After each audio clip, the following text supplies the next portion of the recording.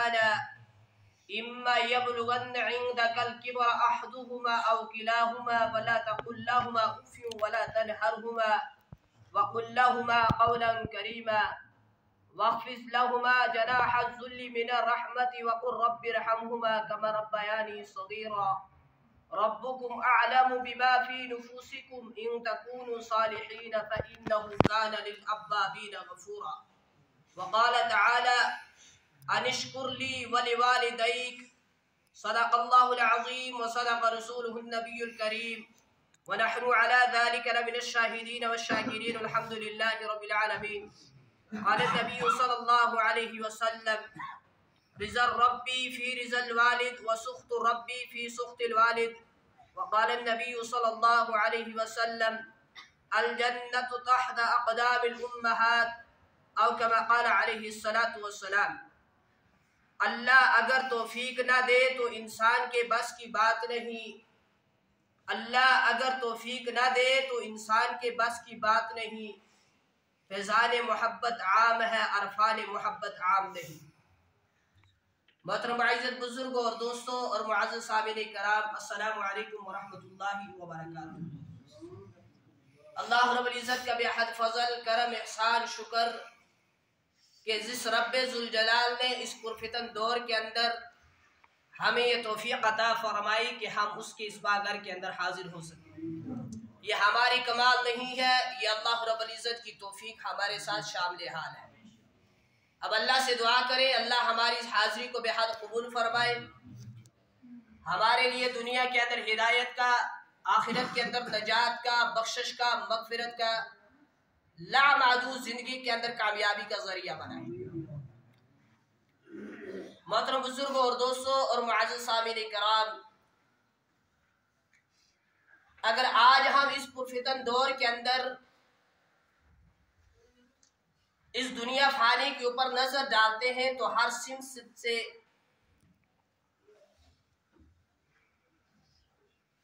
अपने अपने हक का मुतालबा करते हुए लोग नज़र आते हैं। जुलम है, ज्यादती का दौर दौरा नज़र आता है। एक दूसरे के हक को मारा जा रहा है। हर एक को एक दूसरे से शिकायत है। आका व गुलाम को अपने मालिक से, उससे अपने गुलाम जो है, उससे शिकायत है। आका को मालिक को अपने गुलामों से शिकायत है। गुलामों को अपने आकाओं से शिकायत है। औलाद को अपने वालिदेन से शिकायत है और वालिदेन को अपनी औलाद से शिकायत है। एक पड़ोसी दूसरे पड़ोसी के हक अदा करने के लिए तैयार नहीं। औलाद माँ बाप के हक अदा करने के लिए तैयार नहीं। माँ बाप औलाद के हक अदा करने के लिए तैयार नहीं। वालिदेन के ऊपर जुल्म व ज्यादती, जुल्म व सितम, ज्यादती के पहाड़ तोड़े जा रहे हैं। वालिदेन के साथ नापाक हरकतें की जा रही हैं। आज औलाद उस माँ के ऊपर जुल्म व ज्यादती के पहाड़ तोड़ रही है, जिस माँ ने अपनी औलाद के खातर क्या कुछ नहीं किया। आज औलाद उस माँ के ऊपर जुल्म ज्यादती कर रही है। जिस माँ ने अपने पेट के अंदर नौ माह इस बेटे को उठाया। आज औलाद उस माँ के ऊपर जुल्म ज्यादती कर रही है। जिस माँ ने इस बच्चे की परेशानी को अपनी परेशानी समझा। आज औलाद उस माँ बाप उस माँ के ऊपर जुलम ज्यादती कर रही है। जुलम ज्यादती के पहाड़ तोड़ रही है। जिस माँ ने इस बेटे की खातर हर तकलीफ़ को, हर मुसीबत को बर्दाश्त किया।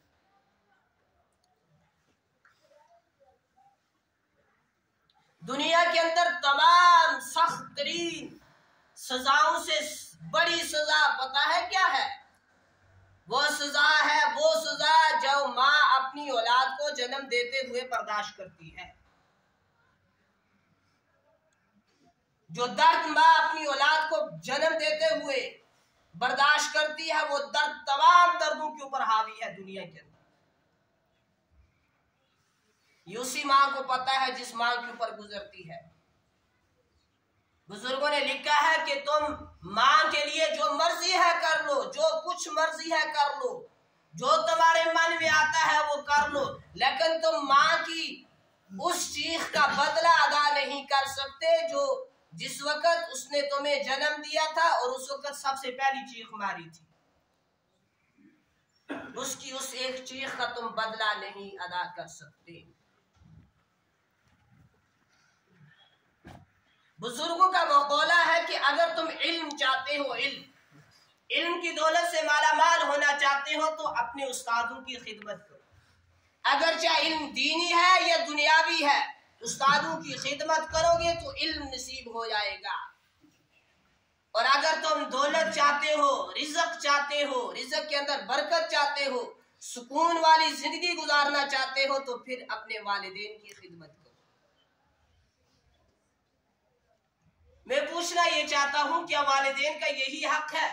उन पर जुल्म व ज्यादती की जाए, उनके साथ नापाक हरकत की हरकतें की जाए उनको सताया जाए, उनकी नाफरमानी की जाए, उनके अदब को, उनके एहतराम को, उनकी इज़्ज़त को पामाल किया जाए, हरगिज नहीं हरगिज नहीं, ये वालदेन का हक नहीं है। मेरी बात याद रखें, जो वालदेन अब जो औलाद अपने वालदेन को नाजायज सताती है, उसके ऊपर जुल्म व ज्यादती करती है, उसकी नाफरमानी करती है, उसको तंग करती है, वो अपना ठिकाना जहन्नुम बना ले। ये मैं अपनी तरफ़ से नहीं कहता। इबनी माजा के अंदर रिवायत मौजूद है, जिसके रावी हैं हज़रत अबू उमामा रज़ी अल्लाह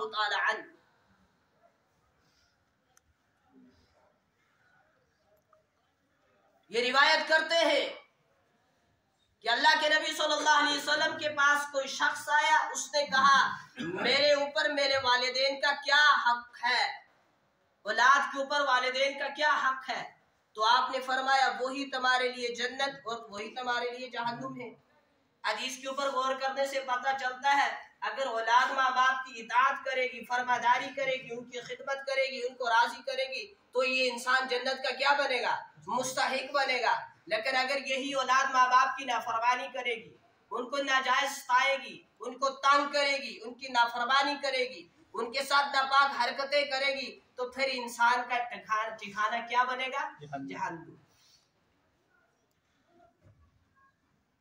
और एक एक बात तो इससे भी बढ़कर एक रिवायत के अंदर आता है कि एक शख्स ने पूछा या रसूलुल्लाह सल्लल्लाहु अलैहि वसल्लम अगर उस शख्स के ऊपर उसके माँ बाप ने जुल्म किया हो तो क्या इस सूरत में भी ऐसी जहन्नम की वहीदे हैं इस इंसान के लिए? फरमाया, तीन मरतबा हाँ अगर चाहे उस पर जुल्म किया हो। हाँ अगर चाहे उस पर जुल्म किया हो। हाँ अगर चाहे उस पर जुल्म किया हो। तब भी अगर ये माँ बाप की नाफरमानी करेगा तो इसके लिए जहन्नम की वाइदे हैं। गोया पता ये चला इस रिवायत से कि अगर माँ बाप औलाद के ऊपर बसा औकात जुल्म भी करते हैं तो फिर भी औलाद ने उनकी नाफरमानी नहीं कर अगर करेगी तो उसके लिए जहन्नम की वाइदे आई है। एक शख्स ने रसूल अल्लाह से सवाल किया, या रसूल अल्लाह अल्लाह के नज़दीक सबसे महबूब अमल क्या है? आप इस्लाम ने इशाद फरमाया, वक़्त पर नमाज़ अदा करना। इससे, इसके बाद क्या है? दोबारा पूछा, इसके बाद कौन सा अमल है? फरमाया, अपने वालिदैन के साथ उसने शुरू मैंने जो बनी इसराइल की चंद आयात आपके सामने पढ़ी थी। अल्लाह रब्बुल इज़्ज़त उसके अंदर इरशाद फरमाते हैं रब्बुका अल्ला इल्ला इय्या। तुम मेरे सिवा किसी की इबादत मत करो। वालिदैन इहसाना, अपने वालिदैन के साथ हुस्न सलूक करो। इम्मा यबलुगन इंदकल किबर अहदुहुमा अव किलाहुमा, फला तकुल लहुमा उफ। अगर वो तुम्हारे सामने दोनों या उनमें से एक बढ़ापे की उम्र को पहुँच जाए तो उनको उफ तक मत कहो।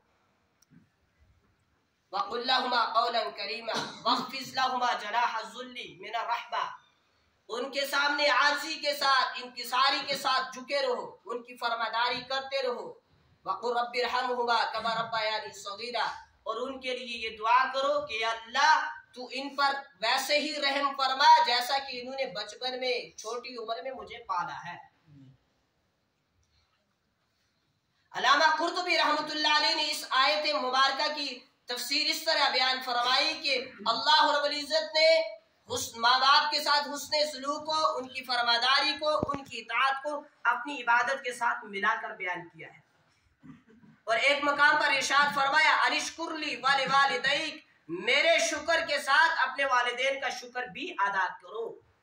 और एक हदीस के अंदर आता है कि अगर बंदा बंधु का शुक्र गुजार नहीं तो वो अल्लाह का भी शुक्र गुजार नहीं। अगर एक बंदा एक बंदे के साथ एहसान कर रहा है तो ये जिस पर एहसान किया जा रहा है अगर ये उसका शुक्र अदा नहीं कर रहा एहसान करने वाले का तो यकीनन ये शख्स अल्लाह का भी शुक्र गुजार नहीं बन सकता। तो फरमाया अनिश्कुरली वली वालिदैक। मेरे शुक्र के साथ अपने वालिदैन का शुक्र भी अदा करो। और ये फरमान है अल्लाह कुरान करीम के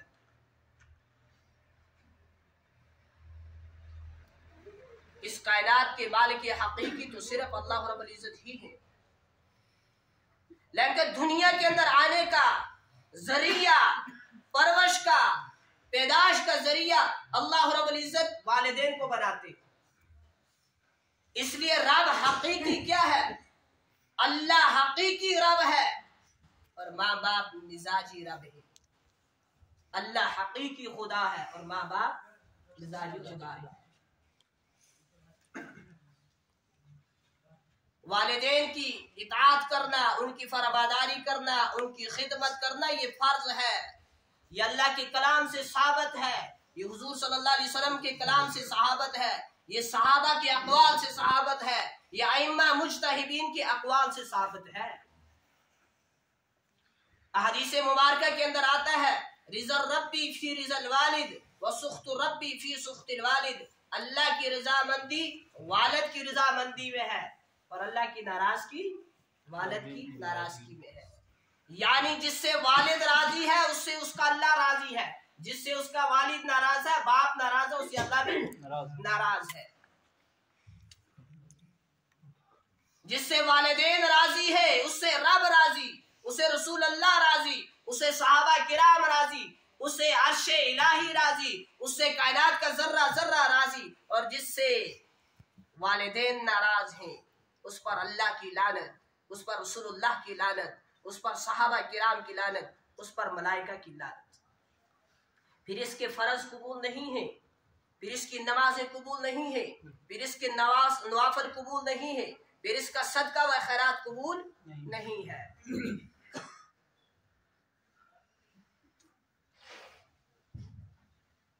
और दुनिया के अंदर कोई भी सजा हो अल्लाह किसी सजा को आखिरत के ऊपर मुखर करेंगे उसकी सजा आखिरत के अंदर देंगे। लेकिन वालदेन की नाफरमानी की सजा आखिरत में ज़रूर मिलेगी मगर दुनिया में भी मिलती है। ऐसा ना सोचे कि नहीं वो कोई शख्स था, उसने अपने बाप को पकड़ा और घसीट कर घर से निकालने लगा। जब उसने बाप को पकड़ा तो बाप खामोश है। पकड़ कर लेकर जो उसने दरवाजे पर, दहलीज पर पहुँचाया। बाप ने कहा, बेटा, बस कर। पहले जब बेटे ने पकड़ा, घसीटा, बाप खामोश, बोला नहीं। जब उसको दरवाजे की दहलीज पर पहुँचाया तो बाप कहता है, बेटा, बस कर। काबा जान, क्या हुआ? बाप कहता है, बेटे, मैंने अपने बाप को यहीं तक घसीट कर लाया।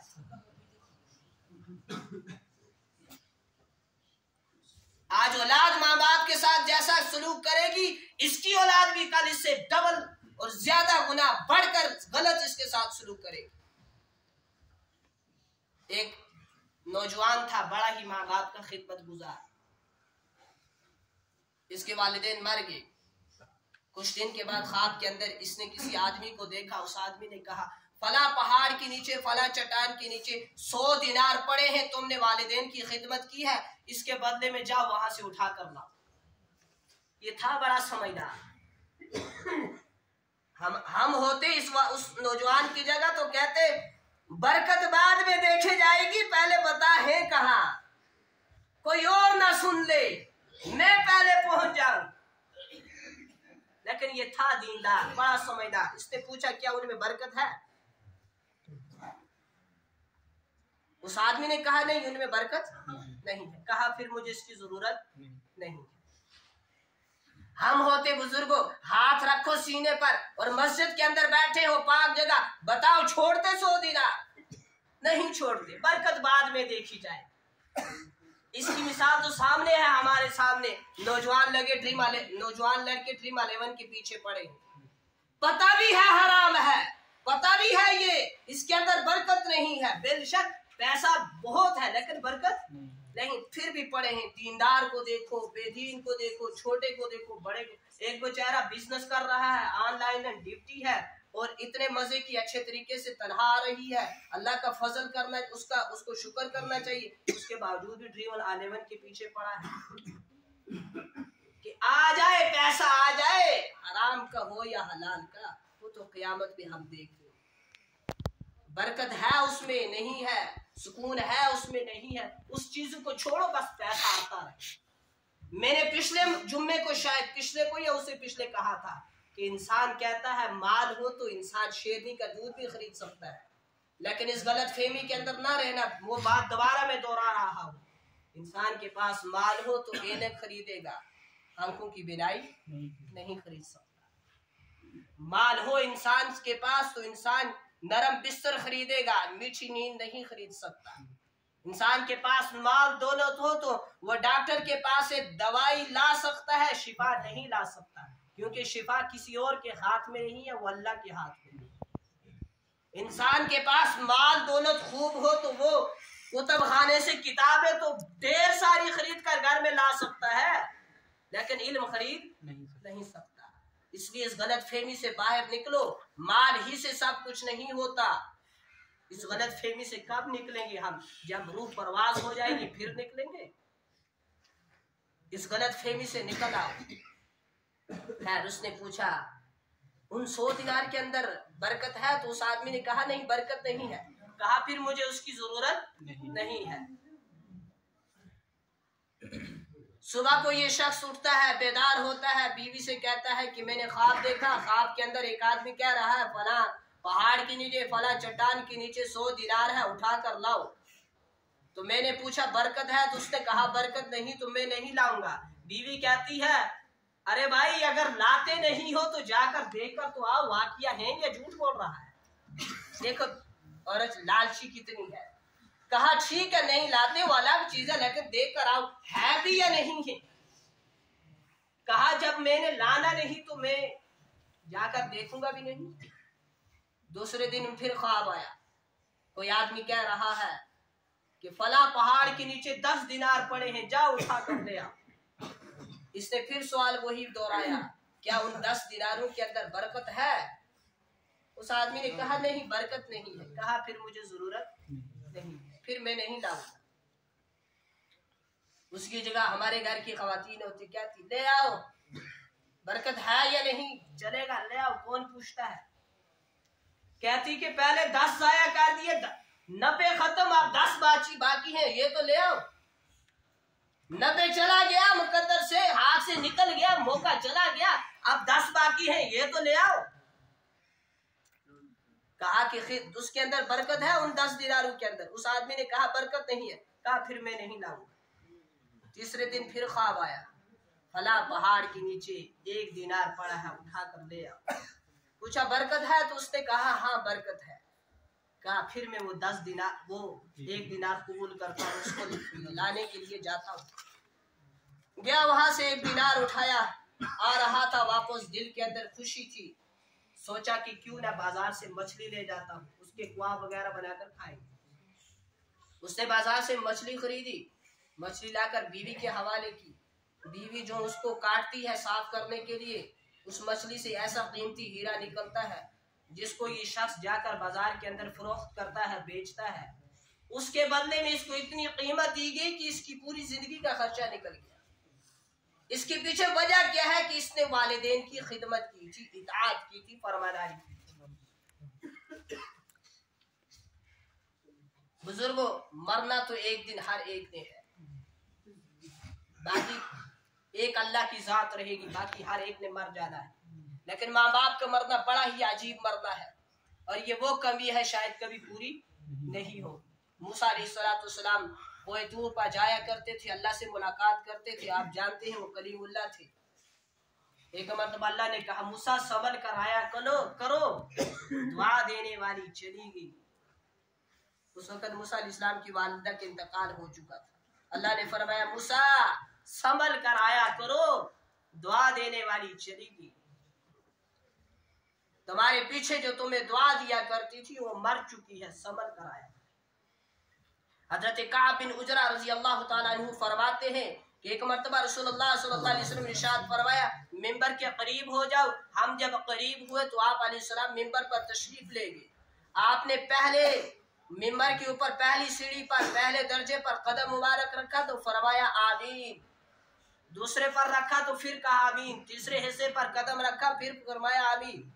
जब आप खुतबे से, आप मिंबर से फारग हुए नीचे तशरीफ़ लाए तो हमने कहा कि या वसल्लम, आज आपसे ऐसी बात सुनी जो पहले नहीं सुनी। तो आपने फरमाया, मैंने जब मिंबर पर कदम रखा तो जबरील मेरे पास आए। कहा, हलाक हो वो शख्स, दबा व बर्बाद हो वो शख्स, जो रमज़ान मुबारक का बाबरकत महीना पाए, उसके अंदर इबादत करके, अपने रब को राज़ी करके जन्नत का मुस्तक ना बन सके तो मैंने कहा, आमीन। और वो रमज़ान मुबारक का महीने की आमद आमद है, रजब चल रहा है, इसके बाद शाबान है तो फिर रमज़ान ही है। इसलिए अभी से तैयार हो जाओ कि रमज़ान मुबारक के अंदर जरा बराबर भी हम किसी भी अमल के एतबार से कोताही नहीं होने देंगे। दूसरे दर्जे पर अल्लाह के नबी इस्लाम फरमाते हैं, मैंने जब कदम रखा तो जबरील ने कहा, हलाक हो वो शख्स जिसके सामने आपका ज़िक्र मुबारक आए और वो आप पर दरूद ना भेजे तो मैंने कहा, आमीन. और मुझे लगता है इस वईद के अंदर हम अक्सर मुबतला हैं। हम बयान के अंदर कितनी मरतबा नबी इस्लाम का नाम सुनते हैं। क्या वाकई हम इतनी ही मरतबा नबी इस्लाम पर दरूद भेजते हैं? और मैंने कहा, आमीन.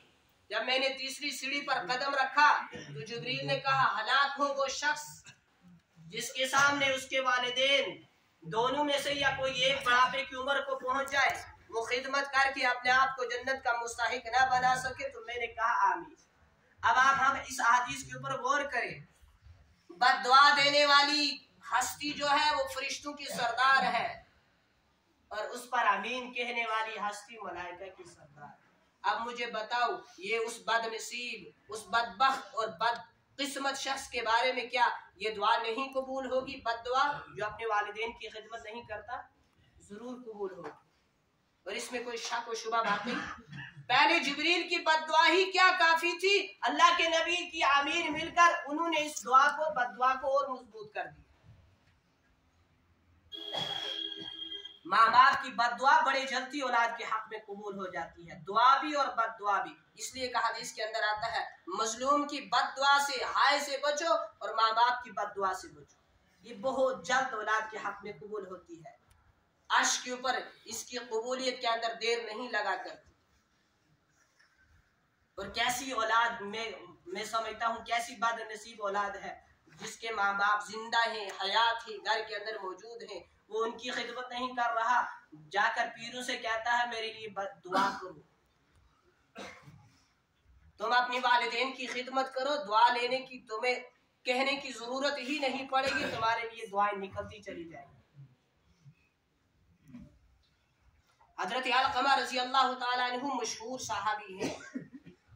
और मैंने पिछले जुम्मा के मौके पर या पिछले जुम्मा के मौके पर कहा था कि हुजूर अली सलाम के जो सहाबा हैं, अदना से अदना सहाबी के मुकाबले को भी पूरी दुनिया के गोश वली, पीर, फकीर, उलमा हुफाज और नवाजी, मुत्तकी परेजगार मुजाहिद, शहीद पहुँच नहीं सकते। जो हुजूर अलैहिस्सलाम का अदना से अदना सहाबी है। खैर, अलकमा रज़ी अल्लाह तु का आखिरी वक्त है, ज़ुबान पर कलमा जारी नहीं हो रहा। सहाबा इसकी तलकीन कर रहे मगर कलमा जारी नहीं हो रहा। इस वाक़े की खबर दी हज़रत बिलाल रज़ी अल्लाह तु ने हुजूर सल्लल्लाहु अलैहि वसल्लम आप सलाम ने पूछा, क्या उसके वालिदैन ज़िंदा हैं?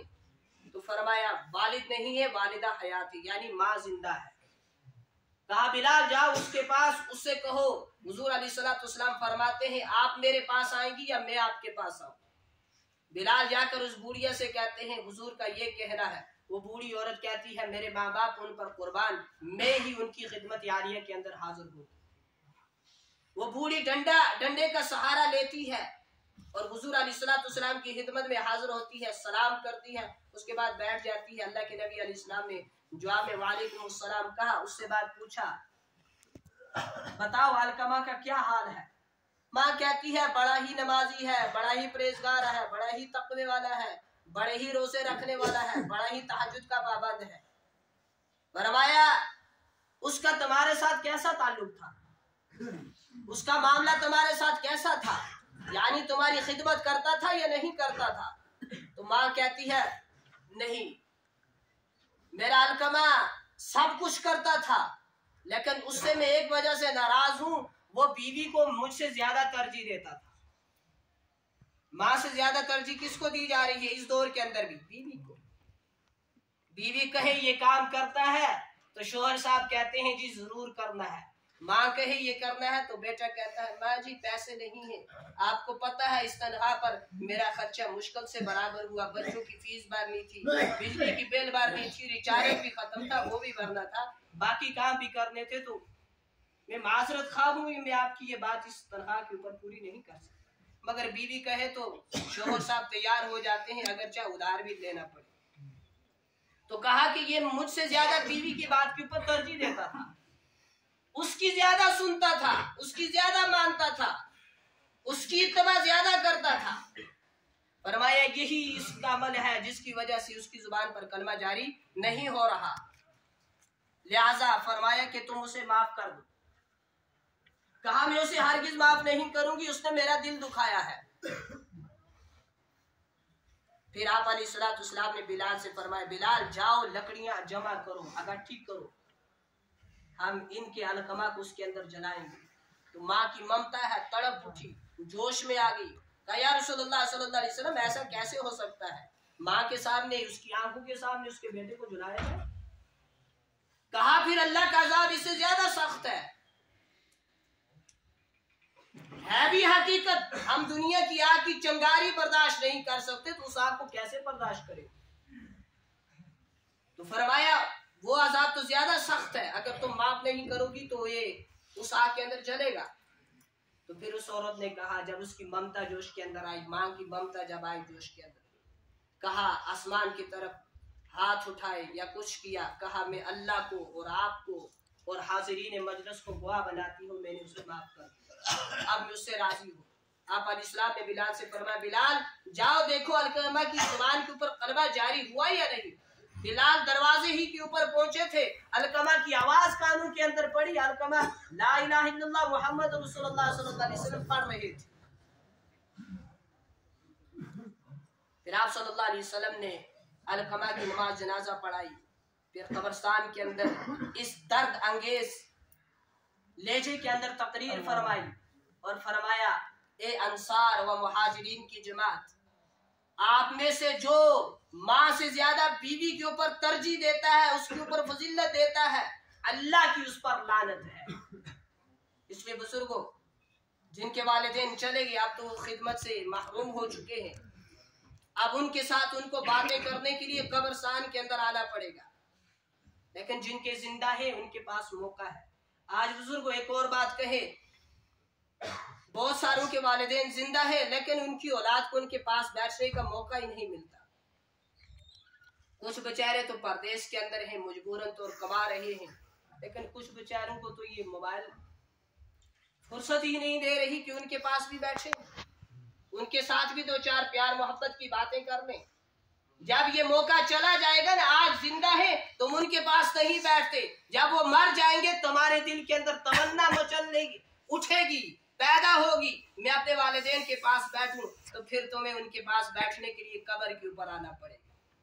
इसलिए आज हमारे वालदेन जिनकी ज़िंदा है, उनके लिए मौका है। अगर कमी, कभी कोई कमी, कोताही हुई हो तो आज जिनके वालदेन ज़िंदा हैं, उनसे माफ़ी कर, माफ़ी मांग ले और आइंदा के बाद उनकी खिदमत के अंदर खूब डट कर उनकी खिदमत करते रहें। देखें, अगर वालदेन राज़ी हैं तो अल्लाह भी राज़ी है। वालदेन नाफरमान है तो वालदेन अगर नाराज़ है तो अल्लाह भी हमसे नाराज़ है।